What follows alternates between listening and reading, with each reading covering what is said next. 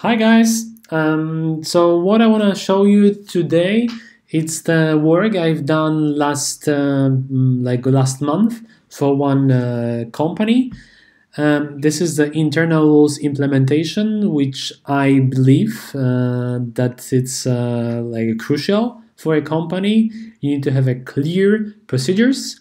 So this is a document. I just want to show you just to have a clue what's what's uh, how my work looks like.